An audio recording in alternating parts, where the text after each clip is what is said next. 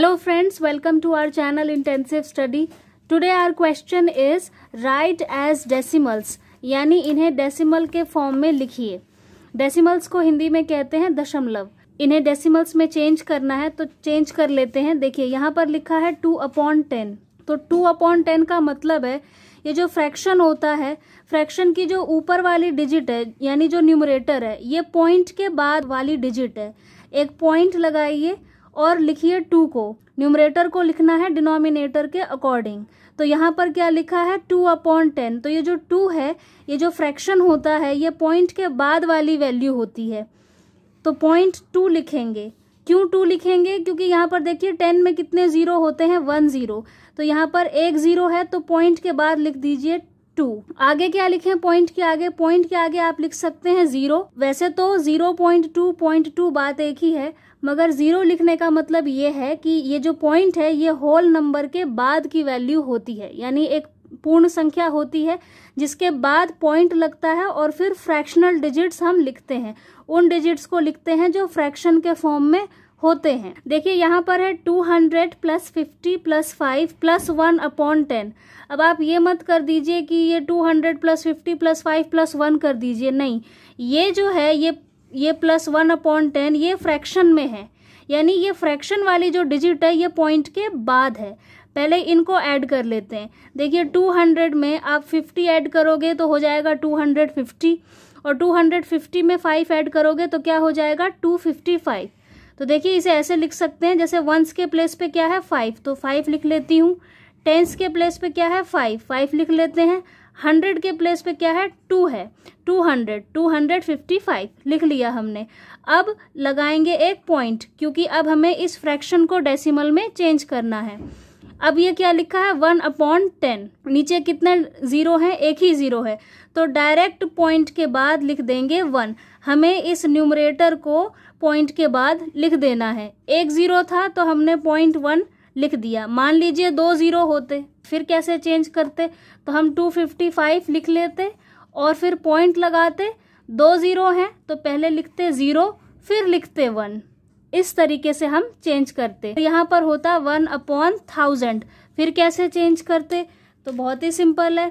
इस two fifty five को as it is लिख लेते और फिर पॉइंट लगाते और फिर ज़ीरो ज़ीरो वन क्योंकि वन की वैल्यू क्या है? थाउजेंथ यानी ये टेंथ हंड्रेड थाउजेंथ थाउजेंथ के प्लेस पे आना चाहिए।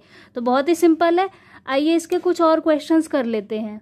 अब हमें मिला है five hundred plus sixty plus three plus two upon ten तो चलिए पहले इसको चेंज कर लेते हैं। क्या लिखा है? फाइव हंड्रेड सिक्सटी थ्री है ना? Five hundred plus sixty plus three क्या हो गया? फाइव हंड्रेड सिक्सटी थ्री तो लिख लेते हैं फाइव हंड्रेड सिक्सटी थ्री अब फ्रैक्शन को चेंज करना है। अब लगा लेंगे पॉइंट यानी डेसिमल इसी को डेसिमल या पॉइंट या दशमलव कहते हैं। अब हमें चेंज करना है टू अपॉन टेन बहुत ही सिंपल है। एक ज़ीरो है, यानी पॉइंट के बाद एक ही डिजिट होनी चाहिए। तो टू डायरेक्ट आप लिख लीजिए। देखिए टू की वैल्यू क्या है? ये टू अपॉन टेन है। और पॉइंट के बाद जो डिजिट होती है, उसकी भी वैल्यू क्या होती है? टेंथ होती है। तो यानी पॉइंट के बाद टू जो है, वो बिल्कुल सही प्लेस पे है। चलिए, एक और क्वेश्चन देख लेते हैं।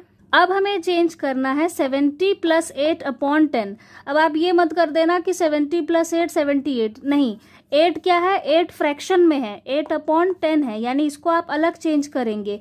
यहाँ तक अलग है और यहाँ तक अलग वैल्यू है। तो सेवेंटी क्या है? सेवेंटी होल नंबर है। सेवेंटी कोई डेसिमल में नहीं है। तो सेवेंटी को एज इट इज़ लिख लेते हैं। सेवेंटी अब लगाएँगे पॉइंट क्यों लगाएँगे? क्योंकि अब हम फ्रैक्शन को चेंज करेंगे। तो फ्रैक्शन जो है वो पॉइंट के बाद आता है। तो लिख लेते हैं एट की वैल्यू क्या है? टेन है। एक ज़ीरो है, यानी पॉइंट के बाद एक ही डिजिट रहेगी।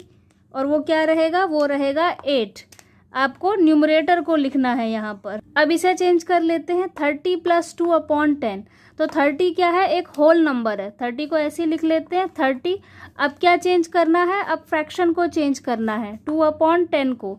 तो अब लगाएँगे पॉइंट क्योंकि अब हमें चेंज करना है फ्रैक्शन को। नीचे कितने ज़ीरो हैं? एक ही ज़ीरो है। यानी पॉइंट के बाद एक ही डिजिट होनी चाहिए। और वो क्या होगी? वो टू होगा। पॉइंट के बाद पहली डिजिट क्या होती है? टेंथ होती है। दूसरी डिजिट क्या होती है? हंड्रेड होती है।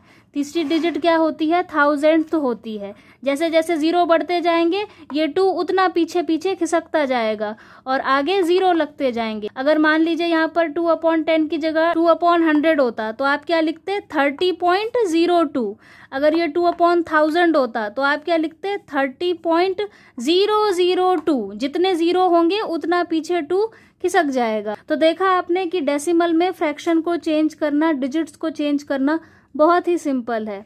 If you like this video please hit the like button do subscribe our channel share this video thank you very much